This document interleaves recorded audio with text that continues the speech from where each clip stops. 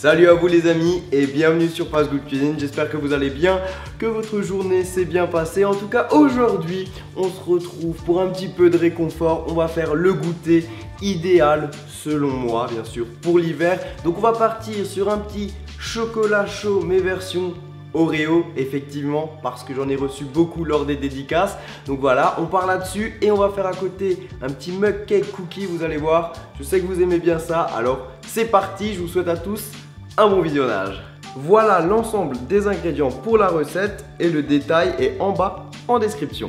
Première étape, on va réaliser le chocolat chaud Oreo et pour cela vous allez prendre les Oreos et on va séparer le biscuit et la crème. Donc la crème là, on va la mettre dans un récipient et le biscuit dans le mixeur. Là on a mis la crème, on va ajouter le lait. Et dans le mixeur, on va tout simplement mixer. Et maintenant, vous allez faire chauffer le lait au micro-ondes. Maintenant, vous allez prendre une jarre et vous pouvez mettre un petit peu de Nutella comme ça. Vous allez voir, à la fin, ce sera joli pour la déco. Et maintenant, vous allez prendre la poudre à Oreo et on va mettre 2 à 3 cuillères.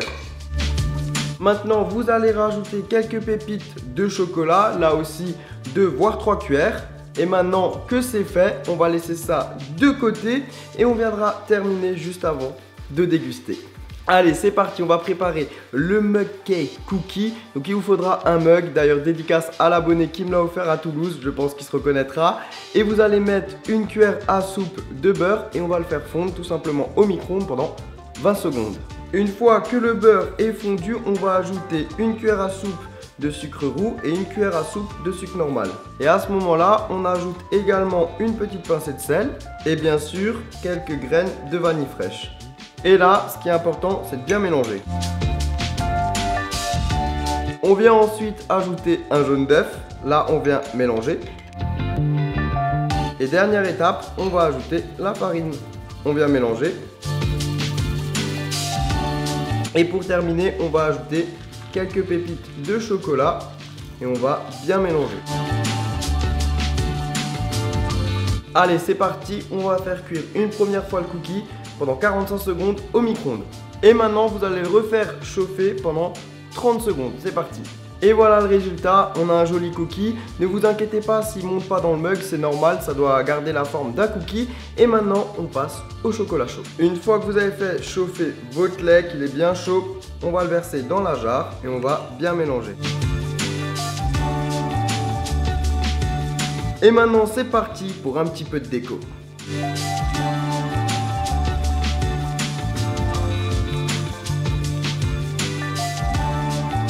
Et bien voilà, ça y est, on y est. Le moment de la dégustation. Est-ce que, est que j'ai besoin de déguster? Franchement, oui, j'en ai besoin, vraiment, parce que ça a l'air d'être terrible. On a le chocolat chaud Oreo. Franchement, il est, magnifique. Je sais pas ce que vous en pensez, dites-moi dans les commentaires. En tout cas, bien évidemment, je vais goûter. Et Eh bien les amis, je vais pas encore vous le dire, mais effectivement, c'est une tuerie, c'est de la bombe, c'est bien meilleur qu'un chocolat chaud classique. D'ailleurs, je vous invite à tester la recette. Et maintenant, place à la dégustation du petit cookie. Déjà, ça sent bon cookie, ça, ça fait plaisir. Donc, on va goûter. Oh là là, ça a l'air d'être terrible parce qu'on a la, la bonne texture du cookie. C'est parti.